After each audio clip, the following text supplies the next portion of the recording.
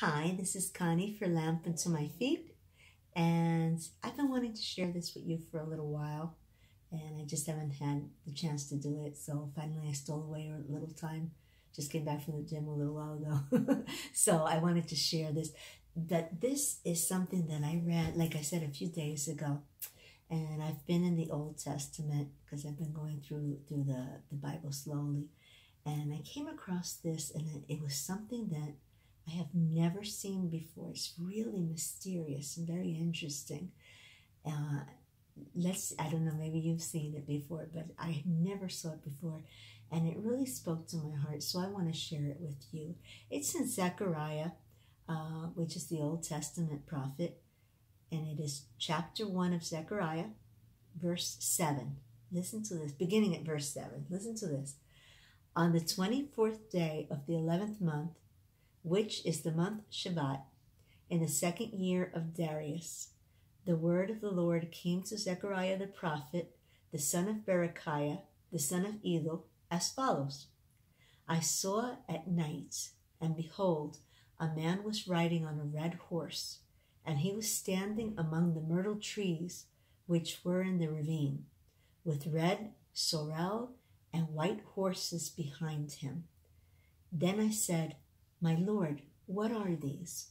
And the angel who was speaking with me said to me, I will show you what these are. And the man who was standing among the myrtle trees answered and said, These are those whom the Lord has sent to patrol the earth. So they answered the angel of the Lord, who was standing among the myrtle trees, and said, We have patrolled the earth and behold, all the earth is peaceful and quiet. When I first read that, I said, Wow, Lord, you know, every so often in the Word of God, we see like a veil that is pulled back, like a curtain that is pulled back. So we can see what is invisible to our eyes. I'm thinking about in the book of Job, where, for example, the book of Job, where Satan goes and he's uh, before the throne of God and he's basically bad mouthing Job, and the Lord is, is defending Job. So we couldn't see that. We wouldn't know about that if it wasn't written in the scripture. Well, in Zechariah, in this Old Testament, um, the book of this Old Testament prophet, Zechariah, well, again, we see something that we can't see, something that we couldn't see. I mean, we, I, I would imagine they say that every time that in, in the Old Testament or the New Testament, when they see angels, it was, you know, it was, it was like it was kind of freaky.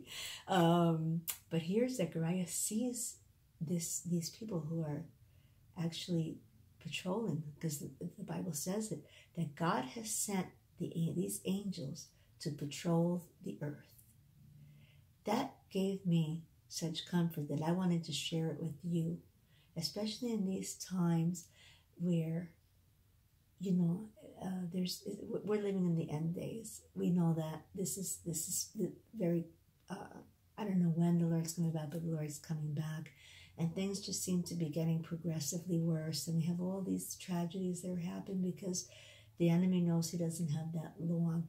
So sometimes, yeah, I could feel like the like we're by ourselves, beloved.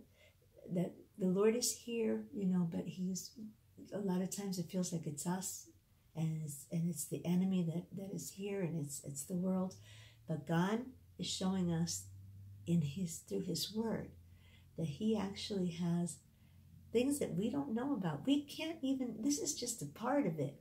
Imagine what else there is that that it isn't revealed to us. But here the Lord is showing us you may not see it, you may not feel it, you may not know it, but I've got my angels out there patrolling this earth. You're not alone. You have the God Squad out there, you know, and it's it's the real God Squad, you know, and that's we we it, right now, and it kind of reminds me of um, I don't know if you've ever read the book. I'm rereading this book because I read it when I was younger and it's starting to get more real as we go along. Book called This Present Darkness. uh, which is by Frank Peretti. If you never read it, read it. If you've read it, read it again. It's kind of interesting to, to read it in, in terms of what's happening today. It's even more of this present darkness.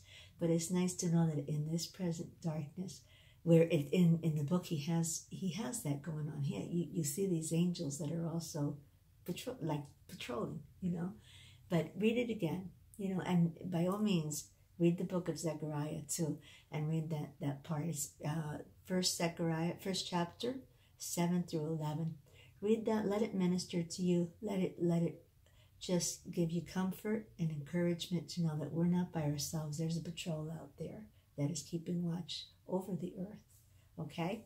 So, anyway, until the next time I talk to you, I pray that, that you meditate upon God's word, that you continue to grow in, in His word, that you be, uh, continue to be more and more like Him. Okay? He's coming back soon. God bless you.